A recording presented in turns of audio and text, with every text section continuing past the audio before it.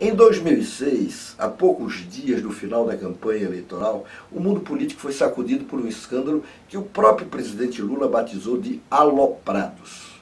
Um grupo de funcionários do Comitê de Reeleição do Lula foi descoberto montando um falso dossiê contra José Serra, candidato na época ao governo de São Paulo, e Geraldo Alckmin, candidato a presidente da República. Aquele episódio acabou provocando a realização do segundo turno da eleição.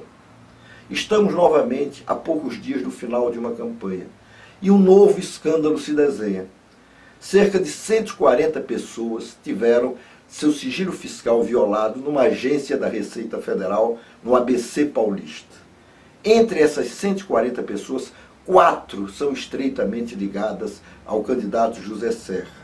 E mais recentemente se descobriu que existe uma quinta, a filha do próprio candidato, Verônica Serra. Qual é a história que conta a Receita?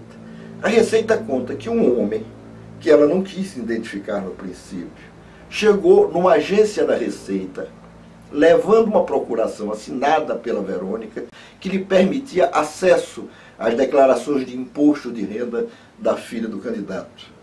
A Verônica simplesmente nega que tenha dado qualquer procuração.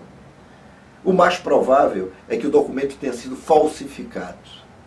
E como fica isso a poucos dias da eleição? Será que esse episódio poderá provocar a realização do segundo turno, como aconteceu na eleição passada? Eu pessoalmente acho que não.